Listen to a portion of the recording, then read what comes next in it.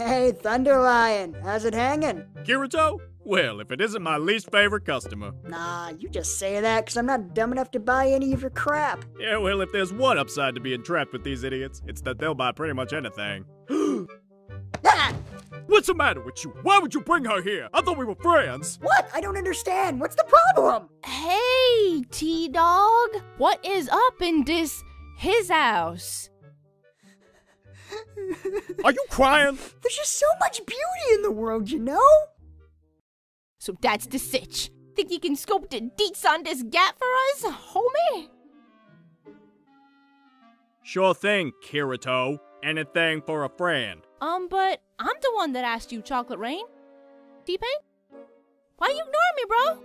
You got cotton in your ears? Oh god, I I didn't mean it like that! I'm really sorry, Tiff. Grand Wizard Asuna here is not what you'd call a people person. Um, excuse me? Mr. Kettle, Mr. Pot called. He says you're black!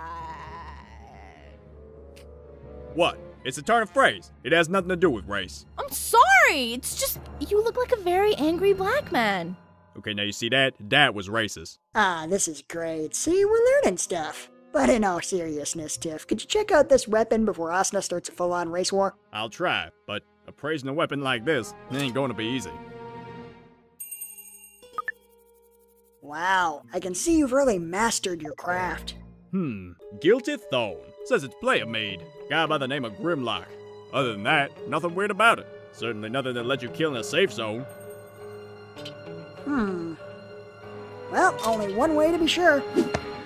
Jesus Christ, what the hell are you doing? Well, clearly I'm stabbing myself with a sword to see if it kills me. Oh god, what am I doing? This thing's too dangerous for you to screw around with. Here, T Fizzle, you take it.